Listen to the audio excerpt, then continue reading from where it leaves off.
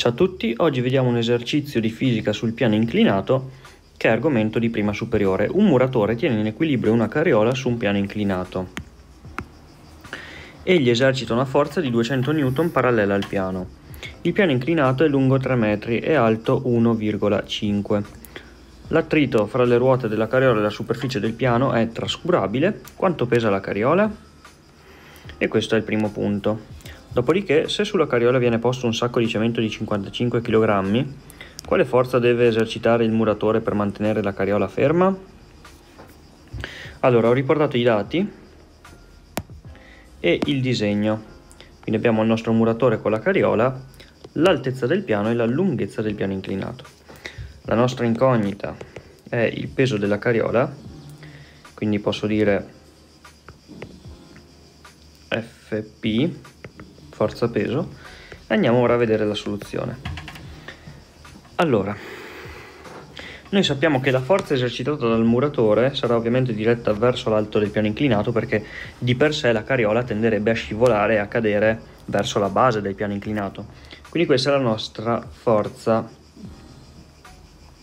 parallela, ok? Ora, il testo ci dice che la carriola viene tenuta in equilibrio, Equilibrio implica che la sommatoria delle forze agenti sulla carriola sia uguale a 0.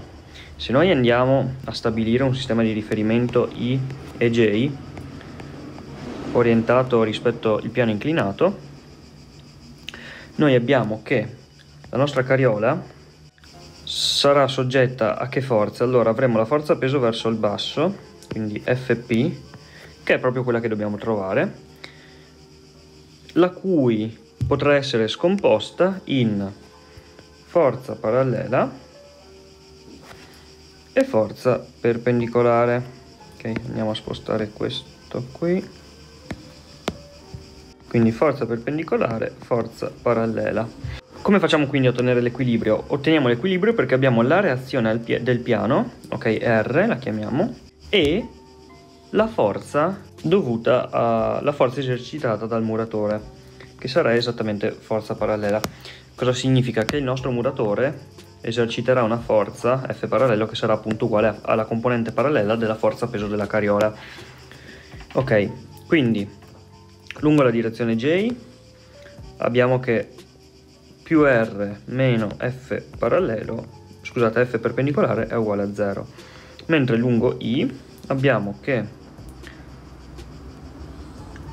la forza parallela del muratore. La scriviamo come F parallelo M ok? Lo vado ad aggiungere.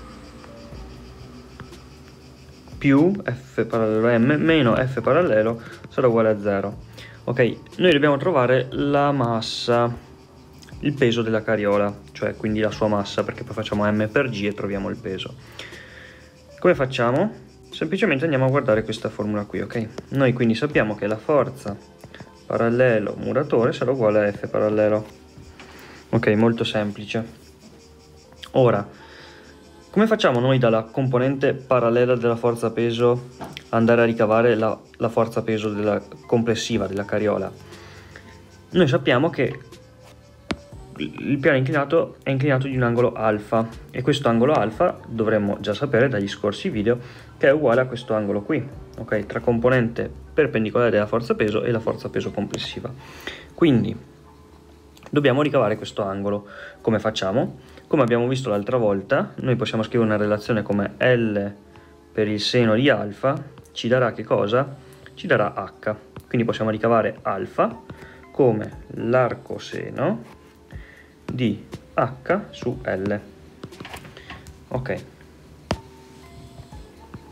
Ora andiamo a scrivere queste relazioni in calcolatrice e vediamo che risultato ci viene dato. Otteniamo 30 gradi, quindi il piano è inclinato di 30 gradi. Ora noi possiamo scrivere come relazione che Fp, cioè la forza peso complessiva, per il seno di alfa ci dà la componente parallela della forza peso e quindi noi vogliamo Fp e quindi Fp sarà dato da forza parallela fratto seno di alfa e quindi 200 diviso il seno di 30 gradi ci dà 400 newton. Ok. Andiamo ora a vedere il secondo punto, cioè se sulla carriola viene posto un sacco di cemento di 55 kg, quale forza deve esercitare il muratore per mantenere la carriola ferma? Allora, la massa complessiva a questo punto quanto sarà? Allora, noi possiamo andare a ricavare la massa di prima. Ok, quindi la massa della, della carriola è data da forza peso fratto G. Perché? Perché la forza peso è uguale a M carriola per G. Ok, quindi la massa della carriola la andiamo a calcolare ed è 400 diviso 9.81 che è 40,8 kg. Scusate, non ho molto spazio per scrivere, quindi sto restringendo un po'.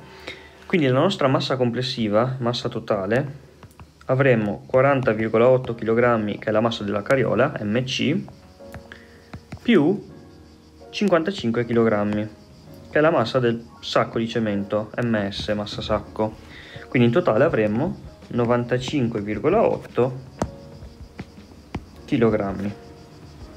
Ok, la nostra nuova forza peso sarà data da m tot per g e quindi abbiamo 95.8 per 9.81 che ci dà 940 newton. Ora, per ottenere la forza che deve esercitare il muratore, dobbiamo semplicemente andare a ritrovare quella che è F parallelo M, che sarà ancora uguale ad F parallelo. E come facciamo a trovare la nuova F parallelo? Semplicemente forza peso per il seno di alfa e otteniamo la forza parallelo. Cosa è cambiato rispetto a prima? Che ora Fp è maggiore, cioè la forza peso è maggiore perché abbiamo un sacco di cemento in più. Quindi la nuova F parallelo sarà data da Fp, posso chiamarla Fp2 altrimenti si confonde con l'Fp del caso precedente, per il seno di 30 gradi. Andiamo a ottenere 470 newton, ok? Che è esattamente il risultato che ci viene dato da, nella soluzione. Ok, abbiamo qui le soluzioni. Io spero di essere stato abbastanza chiaro. Se è così lasciate un mi piace, se avete ancora qualche dubbio lasciatemi un commento e noi ci vediamo al prossimo video. Ciao ragazzi!